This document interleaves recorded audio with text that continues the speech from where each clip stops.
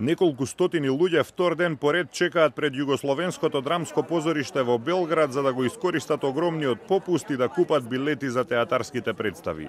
Некои билети се продаваат за 1 до 2 евра, што е до 90% поевтино од вообичаената цена за представите што се играат во февруари. Во Белград има 15 големи и неколку помали театри.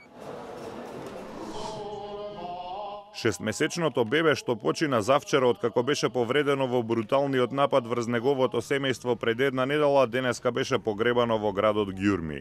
Момчето беше погребано до неговите родители и четворица други роднини кои беа убиени во нападот. За убиствата е осомничен 19 годишен руски војник кој е во притвор во Русија.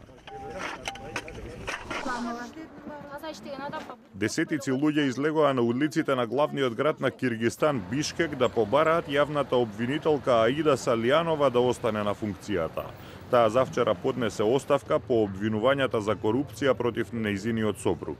Пред неизината оставка Салијанова отвори кривична постапка против неколкумина пратеници и високи функционери. с тем, что против ее мужа вас